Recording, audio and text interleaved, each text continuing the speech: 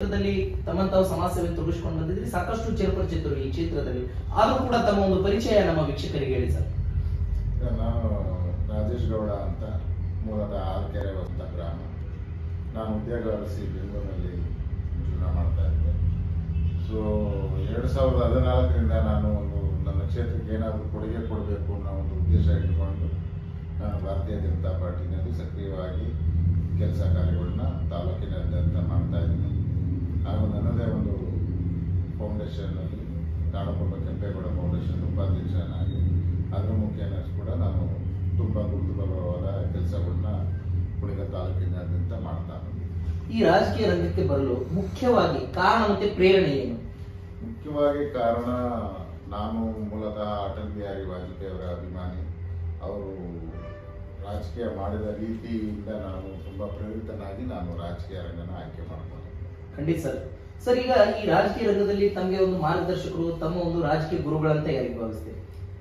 ಭಾರತೀಯ ಜನತಾ ಪಾರ್ಟಿನಲ್ಲಿ ರಾಜಕೀಯ ಗುರುಗಳು ಅಂತ ಯಾರು ಇರಲ್ಲ.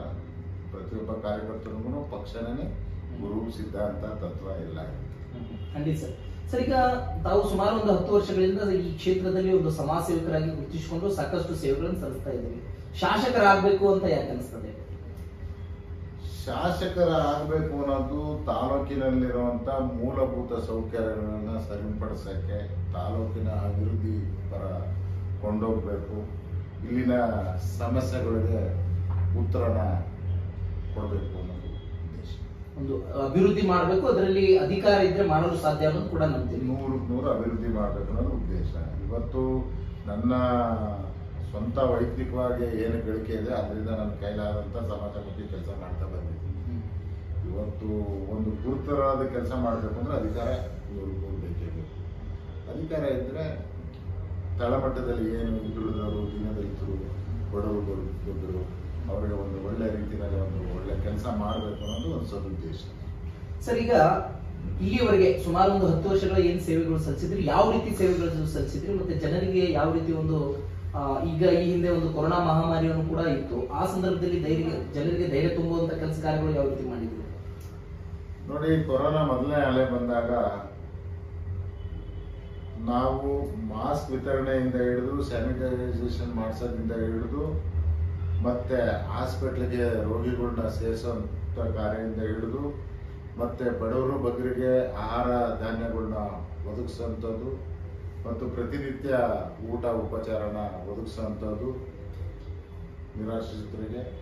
ಈ ಕೆಲಸನ ನಾನು ಸಂಪೂರ್ಣವಾಗಿ ಮಾಡ್ಕೊಂಡು ಮತ್ತೆ ಎರಡನೇ ಅಲೆ ಬಂದಾಗ ಅವತ್ತಿನ ಪರಿಸ್ಥಿತಿನಲ್ಲಿ ಆಕ್ಸಿಜನ್ ಸಿಗದೆ ಜನ ಬೀದಿ ಬೀದಿಲಿ ಒದ್ದಾಡ್ತಾ ಇದ್ರು. ಅಂಥ ಸಮಯದಲ್ಲಿ ಹಾಸ್ಪಿಟಲ್ಗಳಲ್ಲಿ ಎಲ್ಲ ಬೆಡ್ಡು, ಖಾಲಿ ಇಲ್ಲ ಅನ್ನೋ ಒಂದು ಪರಿಸ್ಥಿತಿನಲ್ಲಿ ನಾವು ಸ್ವತಃ ಮೂರು ತಿಂಗಳು ಫ್ರೀಯಾಗಿ ಆಂಬುಲೆನ್ಸ್ನ ಇಲ್ಲಿಂದ ಬಿಟ್ಟು ಬೆಂಗಳೂರಿನ ಆಸ್ಪತ್ರೆಗಳು ಮತ್ತು ತುಮಕೂರು ಮತ್ತು ಹಾಗೆ ನಮ್ಮ ಆದಿಚುಂಚನಗಿರಿ ಮಠದ ಆಸ್ಪತ್ರೆಗೆ ಮೂರು ತಿಂಗಳು ನಿರಂತರವಾಗಿ ಫ್ರೀ ಆಂಬುಲೆನ್ಸ್ ಸರ್ವಿಸ್ನ ನಾನು ಮಾಡಿದ್ವಿ.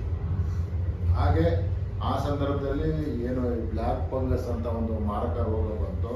ಅದರಲ್ಲಿ ತುತ್ತಾದಂಥ ನಮ್ಮ ತಾಲೂಕಿನ ಮೂರು ನಾಲ್ಕು ಜನ ವ್ಯಕ್ತಿಗಳಿಗೆ ಚಿಕಿತ್ಸೆ ಕೊಡಿಸಿ ಅದರಲ್ಲಿ ಒಬ್ಬರು ಸಂಪೂರ್ಣವಾಗಿ ಗುಣಮುಖರಾಗಿ ಇವತ್ತು ನಮಗೆ ಯಡಿಯೂರು ಭಾಗದಲ್ಲಿ ಅವರು ನಿಮಗೆ ನಿದರ್ಶನ ಸಿಗ್ತಾರೆ.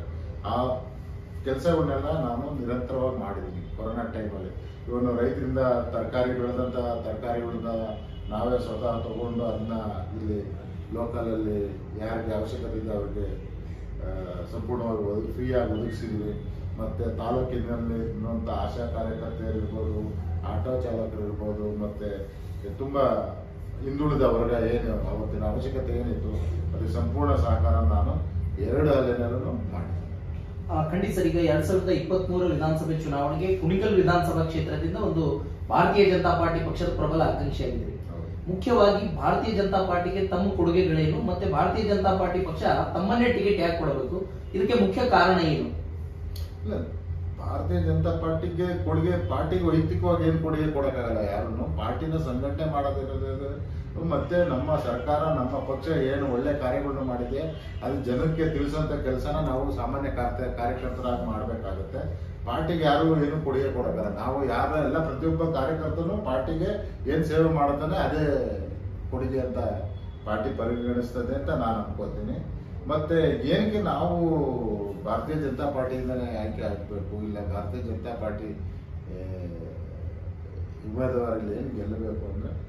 ಇವತ್ತು ದೇಶದಲ್ಲಿ ಮತ್ತು ರಾಜ್ಯದಲ್ಲಿ ನೋಡ್ತಾ ಇದ್ದಾರೆ, ಒಳ್ಳೆ ಆಡಳಿತವನ್ನು ಸಿಗ್ತಾ ಇದೆ. ಸನ್ಮಾನ್ಯ ಪ್ರಧಾನಮಂತ್ರಿಗಳಾದ ನರೇಂದ್ರ ಮೋ- ನರೇಂದ್ರ ಮೋದಿ ಅವರು ತುಂಬಾ ಅತ್ಯುತ್ತಮವಾದ ಕೆಲಸವನ್ನು ಮಾಡ್ತಾ ಇದ್ದಾರೆ. ಅದೇ ನಿಟ್ಟಿನಲ್ಲಿ ಸನ್ಮಾನ್ಯ ಬಿ ಎಸ್ ಯಡಿಯೂರಪ್ಪನವರು ಒಳ್ಳೆ ಕೆಲಸ ಮಾಡಿದ್ರು. ಹಾಗೇನೆ ಅದನ್ನ ಮುಂದುವರಿಸ್ತಾ ಇರುವಂತ ನಮ್ಮ ಬೊಮ್ಮಾಯಿ ಸರ್ ಅವರು ಕೂಡ.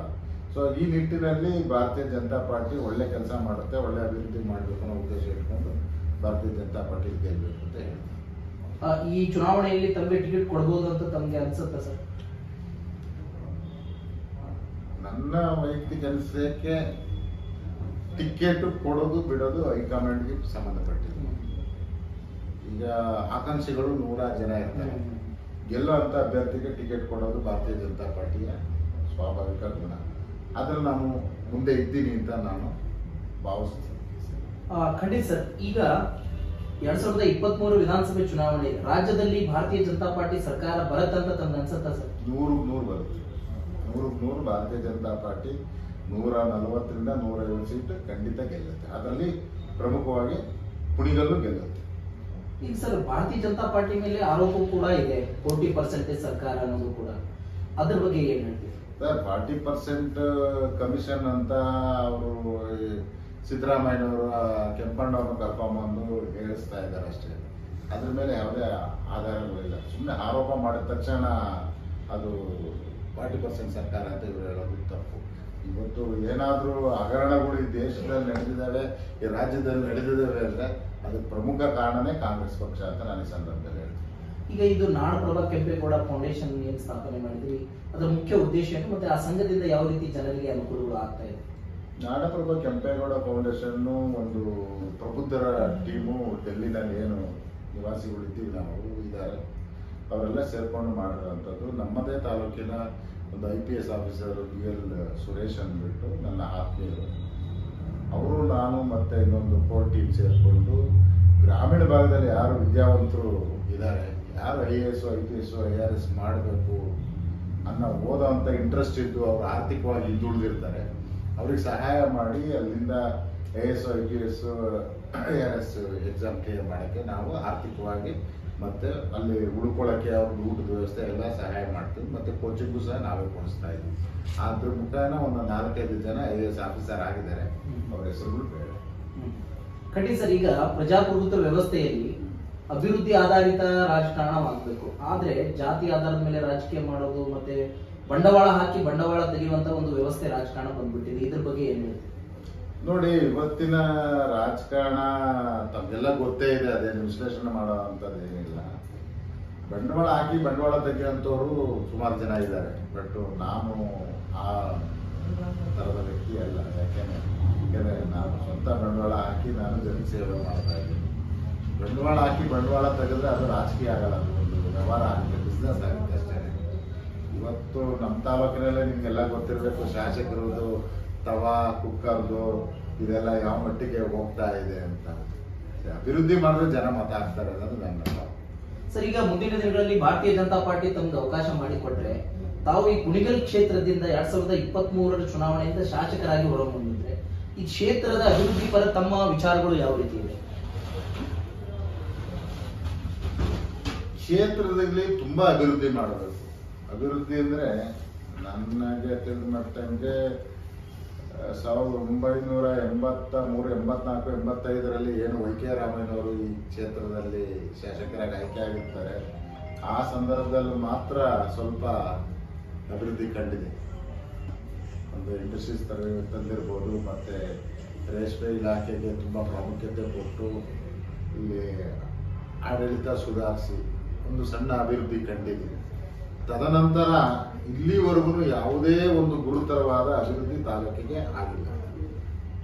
ಫಾರ್ ಎಕ್ಸಾಂಪಲ್ ಹೇಳಬೇಕು ಅಂದ್ರೆ ಇಲ್ಲಿರುವಂಥ ರಸ್ತೆಗಳು, ಇಲ್ಲಿರುವಂತ ಆಸ್ಪತ್ರೆಗಳು, ಇಲ್ಲಿರುವಂತ ಒಂದು ಏನು ಎಜುಕೇಶನ್ ಸಿಸ್ಟಮ್ ಇವೆಲ್ಲ ನೋಡಿದ್ರೆ ನಿಮಗೆ ಜನರಲ್ ಆಗಿ ಅರ್ಥ ಆಗುತ್ತೆ. ತಾಲೂಕು ಯಾವ ಮಟ್ಟದಲ್ಲಿ ಹಿಂದುಳಿದಿದೆ ಅಂತ. ಇಲ್ಲ, ಸಮಸ್ಯೆಗಳ ಕುರಿತು ತಾವು ಹೇಳ್ತಾ ಇದ್ರಿ. ಸರ್, ಒಂದ್ ವೇಳೆ ತಾವು ಶಾಸಕರಾಗಿದ್ರೆ ಈ ಕ್ಷೇತ್ರದಲ್ಲಿ ಯಾವ ರೀತಿ ಅಭಿವೃದ್ಧಿ ಮಾಡಬೇಕಂತ ವಿಚಾರಗಳು ಸಂಪೂರ್ಣವಾದ ಅಭಿವೃದ್ಧಿ ಮಾಡ್ತೀವಿ. ನಾವು ಶಾಸಕರಾಗಕ್ಕೆ ಬಯಸ್ತಾ ಇರೋದೇ ನಾವು ರೋಡು, ರಸ್ತೆ, ಅದೆಲ್ಲ ಮಾಮೂಲಿ ಕೆಲಸ.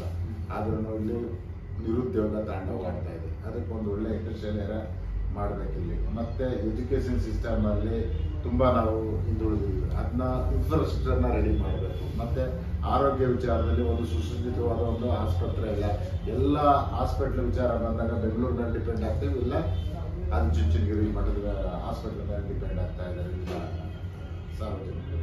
ಸೊ ಅದನ್ನೆಲ್ಲ ಸುಧಾರಿಸಬೇಕು ಅನ್ನೋದು ನನ್ನ ಉದ್ದೇಶ. ಮತ್ತೆ ಇಲ್ಲಿ ಎಂಬತ್ತು ಪರ್ಸೆಂಟ್ ರೈತಾಪಿ ವರ್ಗವು ಇರೋದ್ರಿಂದ ಅವರಿಗೆ ಮೂಲ ಸೌಕರ್ಯ ಬೇಕಾದಂಥ ನೀರು, ಕರೆಂಟು ಎಲೆಕ್ಟ್ರಿಸಿಟಿ ಇದನ್ನೆಲ್ಲ ಸಮರ್ಪಕವಾಗಿ ಒದಗಿಸ್ಬೇಕು ಅನ್ನೋದು ನನ್ನ ಉದ್ದೇಶ.